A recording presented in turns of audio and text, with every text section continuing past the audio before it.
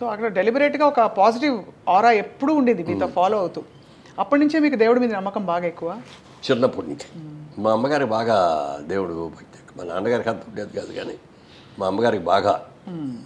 రోజు ఆవిడ కృష్ణుడి మీద రాముడి మీద పాటలు పాడుతూ ఉంటారు భజనలు చేసుకుంటూ ఉంటారు. పాడేవారా చాలా పాడేవారు కూడా. సో ఆవిడ చూసి మేమందరం కూడా నేర్చుకున్నాం.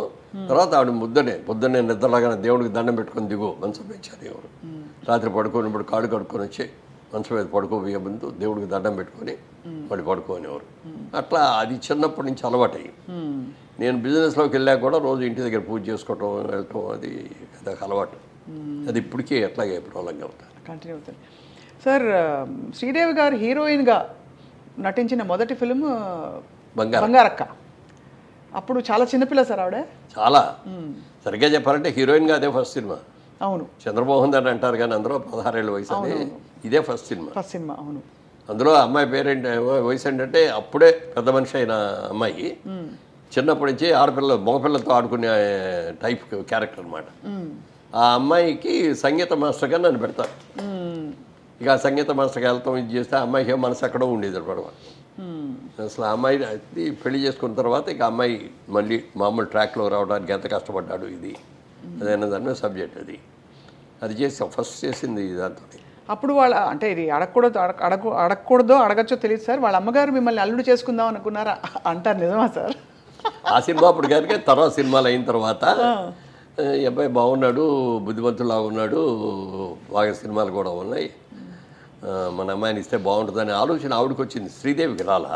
ఆవిడకి వచ్చింది ఆవిడకి వచ్చి వాళ్ళ ఫ్రెండ్ ఎవరి దగ్గర ఉంది అమ్మాయికి ఆయన్ని ఇస్తే బాగుంటుందేమో అని చెప్పి అందంట. అంటే ఆయన పెళ్ళి అయిపోయిందండి ఇద్దరు పిల్లలు కూడా అండి అన్న. అన్నారా? అంటే లేదు లేదు అట్లా అప్పుడే పెళ్ళి అయ్యి ఉంటుంది కుర్రాళ్ళలాగా ఉంటే. అంటే అయితే నేను తీసుకెళ్తానండి వాళ్ళు నాకు ఫ్రెండ్సే ఊరికే తీసుకెళ్తా మీరు ఏం మాట్లాడదు అక్కడ వచ్చి చూసేసి వచ్చేయండి అని. ఇద్దరు ఆవిడ తీసుకొని వచ్చిన తర్వాత ఇంటికి వచ్చాక చూసేది నన్ను మా ఆవిడ్ని. మా పిల్లల్ని అందరిని చూసి మళ్ళీ డ్రాప్ అయిపోయింది మేడంకి ఇవన్నీ తెలుసా సార్? తెలుసు. ఏమనేవారు? అంటే నవ్వి ఊరుకుంటుంది నా- అంతేనా?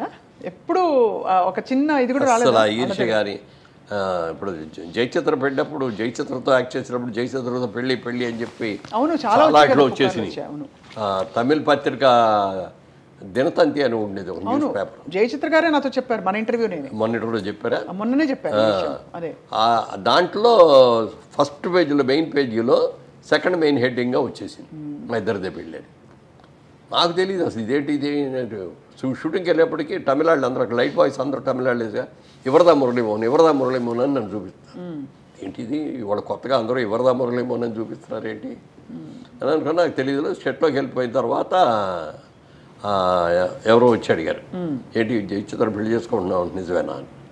ఏంటి ఏం జయచిత్రం పెళ్ళి చేసుకోవడం ఏంటి? నాకు పెళ్ళి అయిపోయింది కదా ఇంకా పెళ్ళి ఏంటి అన్న.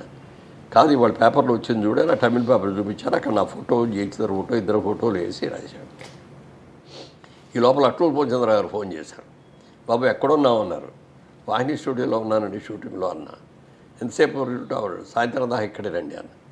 నేను వస్తున్నాను అన్నాడు అనగానే అప్పుడు భయం వేసింది. అప్పుడు దాకా ఏమీ లేదు. ఇదేంటి ఈయన వస్తున్నారు? ఈ పేపర్ ఏమైనా చదివాడు ఆయన? లేకపోతే ఏమైనా తెలిసిందా? వేరే పనితో వస్తారా అని కొంత ఇది ఉంది. అయినా అయ్యి ఉండదులే అని చెప్పి నా షూటింగ్లో పడిపోయాను. ఆయన కరెక్ట్గా పదకొండున్నరకు వచ్చారు. వచ్చి బాబు ఒకసారి రాయిపోయి మాట్లాడదామని అని. మేకప్ రూమ్లో తీసుకొచ్చి ఇట్లా పేపర్లో వచ్చింది బాబు. నిజమేనా? అన్నాడు. అయ్యో అలాంటి పని నేను ఎందుకు చేస్తానండి? నేను ఎప్పుడు అలాంటి పని చేయను. ఏదో ఎక్కడా పొరపాటు పడి ఏమన్నా చేస్తారేమో తప్పు అని చెప్పడం కోసం వచ్చి వద్దు అని చెప్పడం కోసం వచ్చాను అన్నారు. చాలా సంతోషం అండి. మీరు నా మీద ప్రేమతో వచ్చినందుకు. మీరందరూ ఎప్పుడైనా నా గురించి తలెత్తుకునేటట్టు ఉండాలి తప్ప తలదించుకునేటట్టుగా నేను ఉండనండి ఎప్పుడు. అలాంటి పని చేయనే చేయనండి. అందుకే బాబు చాలా సంతోషం అని చెప్పి వెళ్ళిపోయారు. అంటే ఒక ఫాదర్లీ ఎఫెక్షన్ ఆయనకి నేనంటే. అవును సార్. మిమ్మల్ని ఇంట్రొడ్యూస్ చేసింది వారే. ఆయనే కదా. ఆయన పెట్టిన పేరు. పెట్టిన పేరే. పేరు ఆయన పెట్టారు. ఆయన పెట్టిన భిక్ష. అందుకే నా జీవితంలో ముగ్గురిని మర్చిపోలేను. ఒకటి మొట్ట మొట్టమొదట మాణిక్యాలరావు గారని మాకు బిజినెస్లో నాకు వర్కింగ్ పార్ట్నర్గా ఇచ్చిన మాణిక్యాలరావు గారిని. సినిమాలో ఇంట్రడ్యూస్ చేసిన అట్టూరు పూర్చంద్రరావు గారిని. నన్ను బాగా పైకి తీసుకొచ్చిన దాసనారాయణరావు గారు. ఈ ముగ్గురిని మాత్రం జీవితంలో నేను మర్చిపోలేను. వాళ్ళు ఈ స్టేజ్లో ఉన్నానంటే వాళ్ళు పెట్టిన భిక్ష.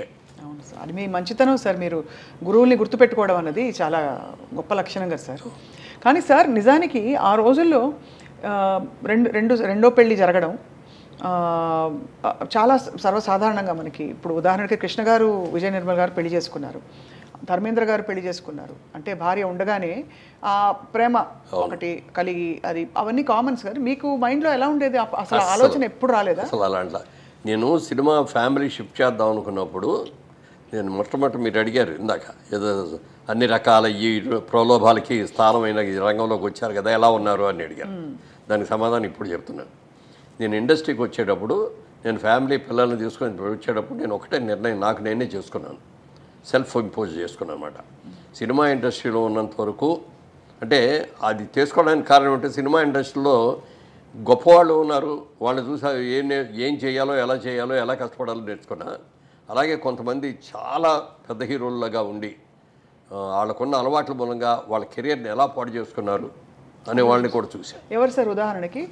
పేర్లు చెప్పకూడదండి. Okay right. అర్థమైంది సార్. అందుకని నాకు నేనే కొన్ని రూల్స్ ఇంపోజ్ చేసుకున్నా. సినిమా ఇండస్ట్రీలో ఉన్నంత వరకు జోదం ఆడకూడదు పేకాట ఆడకూడదు డ్రింక్ చేయకూడదు వ్యభిచారం చేయకూడదు. ఎవరితో ఆడాలతో లింక్ పెట్టుకోకూడదు. చాలా అది పెట్టుకొని మీరు చెప్తే నంబర్ నలభై ఏళ్ళు కంటిన్యూ చేసుకోవాలి. ఏ రోజున ఎక్కడ కూడా తాగటం కానీ పేకాటం కానీ రేసులకు వెళ్ళటం కానీ అమ్మాయిలతో తిరగటం కానీ ఏమి. చాలా ప్రలోభాలు పెట్టిన వాళ్ళు ఉన్నారు అవన్నీ చెప్పను. అయినా సరే. అంటే ప్రలోభాలంటే ఎలా పెట్టారు? ఏం ఏం కాదులే. పర్లేదు కాదు బయట వాళ్ళు కూడా సినిమా వాళ్ళే కాదు బయట వాళ్ళు కూడా. అప్పట్లో కొంచెం క్రేజీ యంగ్ హీరోగా క్రేజీగా సార్ మీరు అందగాడు అదొకటి అంటే రెండు రకాల వాళ్ళు ఉండేవారు. ఇదిగో ఇలాంటి అన్నయ్య ఉంటే బాగుంటుంది అనుకునే వాళ్ళు ఉన్నారు. ఇలాంటి మొగుడు ఉంటే బాగుండేవాళ్ళు